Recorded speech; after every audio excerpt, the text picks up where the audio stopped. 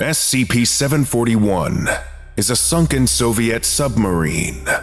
It sank near in March 1968. However, the Foundation did not take over custody of the vessel until 1999.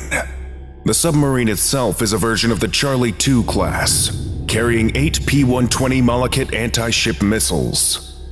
Prior to sinking, the submarine had been deployed under unusual circumstances, which garnered the attention of Western intelligence agencies.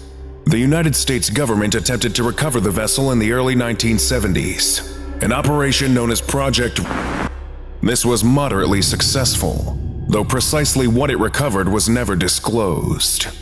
In the late 1990s, agents within the US government, affiliated with contacted the Foundation with news of a potential Euclid or Keter class object within the wreck.